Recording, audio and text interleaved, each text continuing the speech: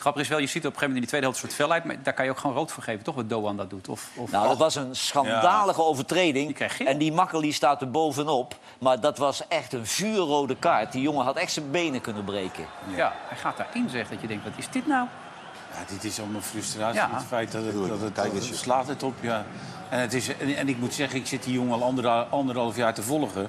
En ik heb hem nog nooit zo'n overtreding zien Nee. maken. Dus het slaat ook... Ja, wat moet je ermee ze verder? zijn allemaal een beetje de weg kwijt. Ja. Ja, maar Ja. eh, kijk, zulke spelers kunnen dat ook niet. Nee, dat slaat dan zie je een dag van tevoren aankomen. Als slaat die, nergens op. Maar ik vind, ik vind zoiets net zo erger dan een conducteur een draai om zijn oren geven, hoor.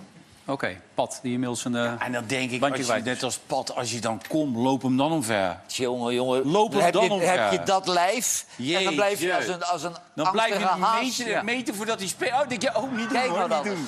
Want als je tegen hem aanloopt, Ja. brengen ze met een brokaar naar het Ja. ziekenhuis, hè? Ja.